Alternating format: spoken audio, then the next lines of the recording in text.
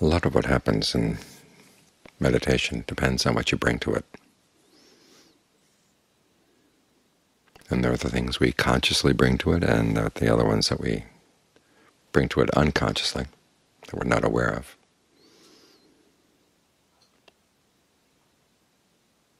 So it's important that you make the conscious intention as clear as possible.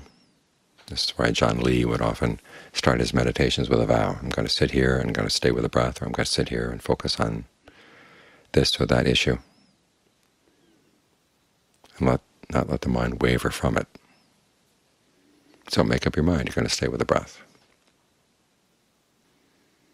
and that you're going to bring your full attention to it.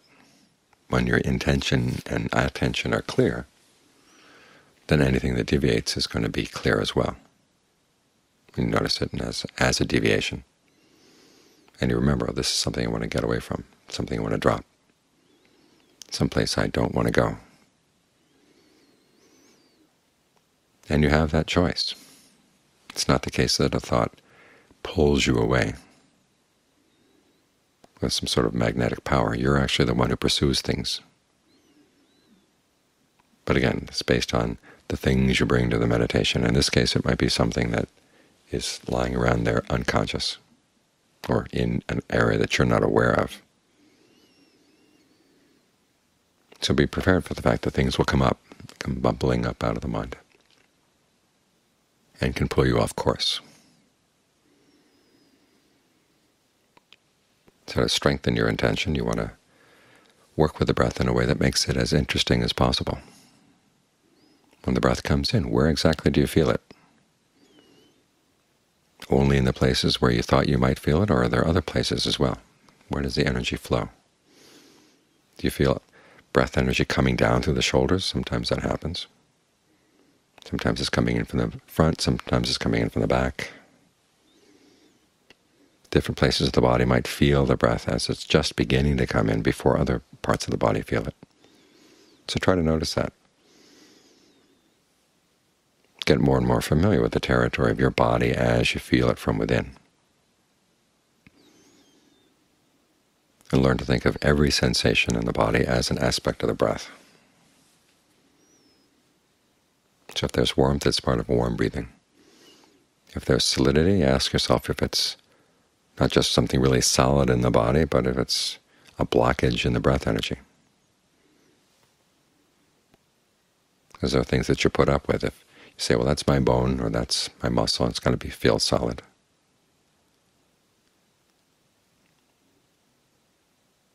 But then you might notice if you thought of it as breath energy, is, is that something you'd want to put up with, that solidity there? You might suddenly experience it as a blockage. That opens a possibility. Perhaps you can work around the blockage, see what that does. The purpose of all this is to get the mind to settle in that spot where the Buddha says you're aware of the whole body as you breathe in and aware of the whole body as you breathe out. And you can calm the effect that the breath has on the body. And before you can bring it to calm, though, you have to gain a sense of refreshment from the breathing. Otherwise you calm things down, it just gets stultifying. So breathe in a way that gives you energy first. And holds your interest. Feels good. Parts of the body that were tired and lacking in energy suddenly find that they have some more energy. It's more and more pleasant to sit, sit here and just sit here, breathing. What you're doing is you're bringing awareness to an area the, of your body that tends to be in the shadows. In other words, the body as you feel it from within parts of the body that you ordinarily don't pay any attention to. Now you can pay attention to them. You, you don't have any other responsibilities right now, and you've got that original intention. You want to stay with the breath for the hour. This is how you do it. Give the mind something to play with, and it will be content to stay for the hour. You probably noticed you work on a task that has you absorbed. Time passes very quickly. That's how it should be with the concentration. get absorbed, and the hour won't feel like a whole hour.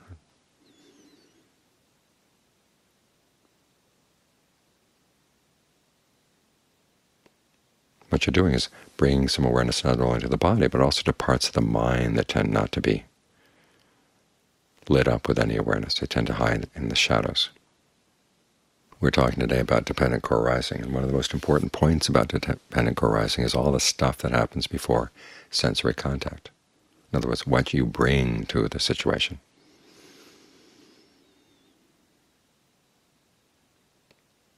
And the reason what we bring to the situation causes suffering is because it's all done in ignorance. So when we meditate, we're trying to shine a light into that area, both of the body and of the mind. The thing about ignorance, though, it's not just an empty space. We have our ways of filling in the details.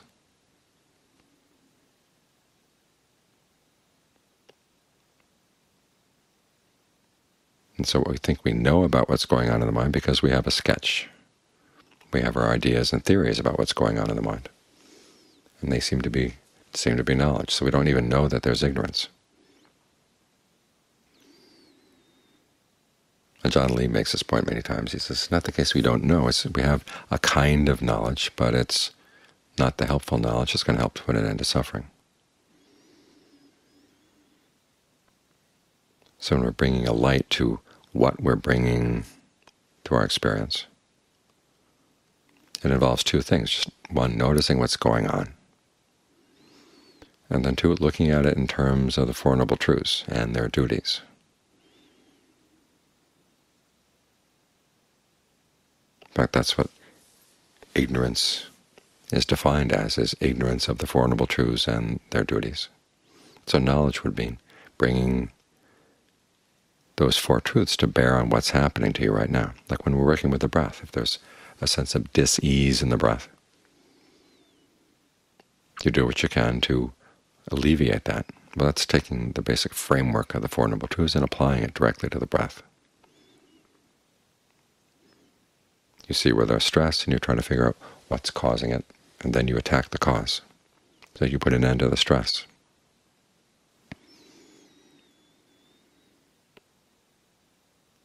And you want to learn how to do that not only with the breath, but also with the mind.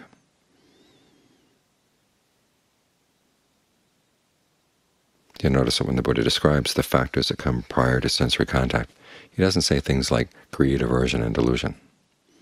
They're just things like intention and attention and perceptions and feelings.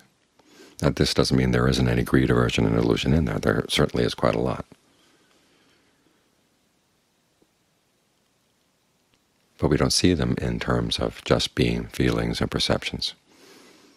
They have a lot more meaning for us, and we cling to the meaning. And a lot of seeing things in terms of the Four Noble Truths is to strip these unskillful mental states of their meaning. It's the case with pride. Part of the mind will say, well, pride is something really necessary. If I don't have a certain amount of pride, then I get overcome by other people. I get pushed around. And so we'd hold on to it. But it's when you begin to see that there's stress there. You're beginning to get on the right track, and the next thing you have to see is that this is something to be to be comprehended. And when you find the cause, so then you try to, then you want to abandon it. Here again, part of the mind balks. If it's something that we feel possessive of, we're not going to see it in those terms, and we're not going to think that the duties that the Buddha assigns to them apply to us right now my greed, my lust, my aversion, my pride, my fear, my jealousy, whatever, is a special case. That's what we think. I need these things. There's nothing wrong with them. Or if there's something wrong with them, all I have to do is tinker with them a little bit, but I'm not going to let them go.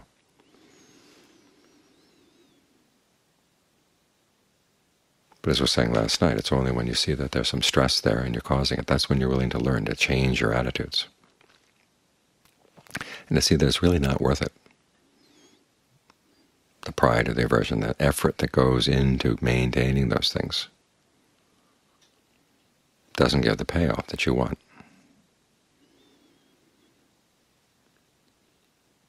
So once you recognize that you're bringing something to the present moment, then the next step is to see where it fits in those Four Noble Truths. And then ask yourself, what's the duty of that particular particular truth? Is this something to be comprehended, or is this something to be abandoned? Eventually everything is going to be abandoned, but there's some things that you have to comprehend first, some things you have to develop first. You develop the path. You develop more mindfulness, more alertness. You develop your ability to take that pride or that greed or that aversion or that lust or whatever, take it apart and see, okay, where is it a case of perception? What role does perception play there? In other words, the labels you're putting on things the images you have in the back of the mind, the things that come up from the lizard brain. that tend to circulate a lot, a lot around greed and fear. And where can you see that those perceptions are really off?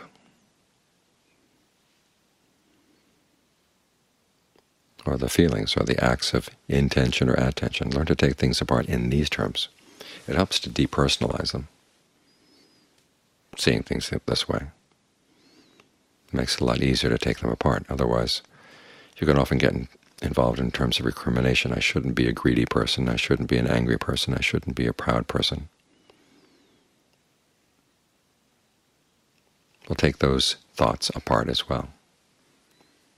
They're just perceptions that turn into fabrications.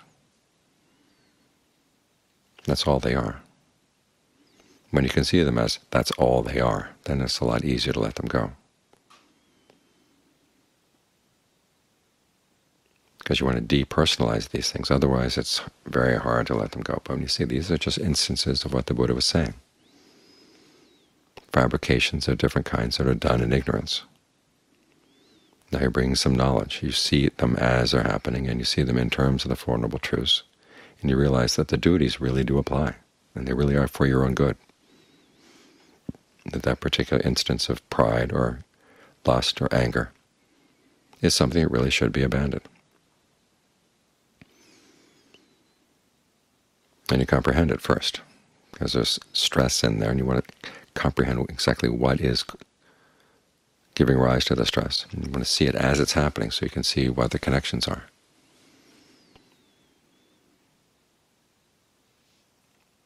the quicker you are to see these things, the more you're able to identify them properly. Because all too often we know that we have greed, but we don't know why. Or we think we know why, but we're slightly off target. We've misperceived our own greed. We've misperceived our own pride or anger. And because of the misperception, we can't apply the duties properly. You tell yourself, well, I have to let go of that perception, but you let go of it, and it doesn't solve the problem which means that that wasn't the perception that was really lying as the linchpin for all these things. So you've got to trace things down carefully and be as precise as you can to see, oh, this is what gives rise to that. And when you can see how stupid it is, that's how you let go.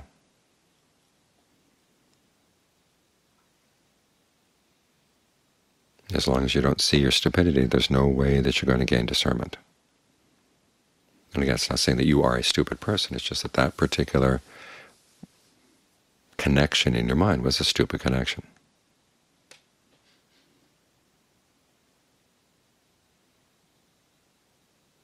If you tell yourself, I am a fool, that's one thing. If you tell yourself, I've been foolish, that's something else when you can finally get it down to actions, that was a foolish action. That's the best way to look at things. The fact that you can recognize it as foolish, okay, that's a good sign.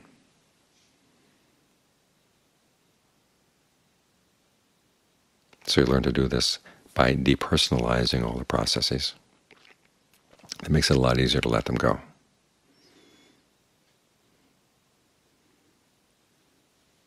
So we're working here on getting to know what we're bringing to the present moment. And the best way to do that is to consciously bring an attitude to the present moment and then see what else is coming up that gets in the way of your express intention for being here.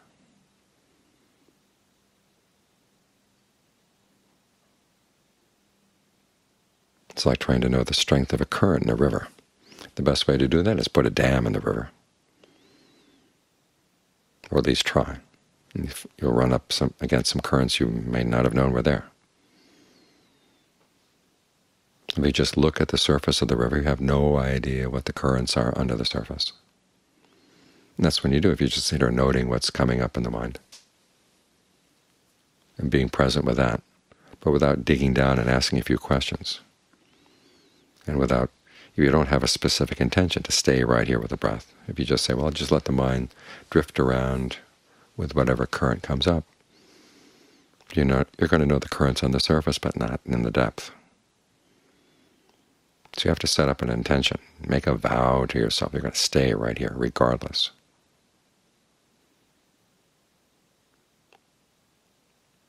And that's when the various forces that you're bringing to the present moment will come more to the surface. They're forced to, because they've run up against the wall. They've run up against the dam that you've set here. So make your vow explicit and firm, and then do whatever you can to stick with it. And that's how you learn all the other things that are going on in the mind as well.